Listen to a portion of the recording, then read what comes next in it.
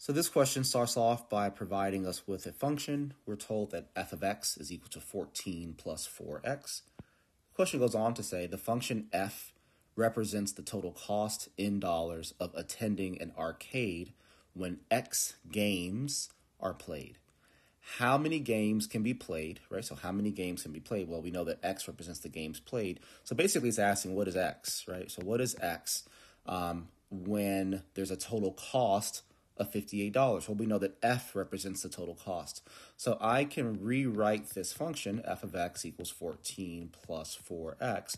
The question is telling me that my f of x value, again, which is the total cost, right, because f represents the total cost, that that total cost is 58. So I can rewrite the question as 58 equals 14 plus 4x.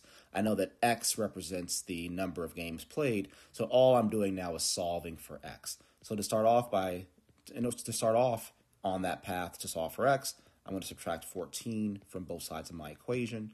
58 minus 14 is 44. So I have 44 equals 4x. I can then divide by 4 on both sides. My 4's cancel there. And what I'm left with is that x is equal to 11. So my answer here is 11.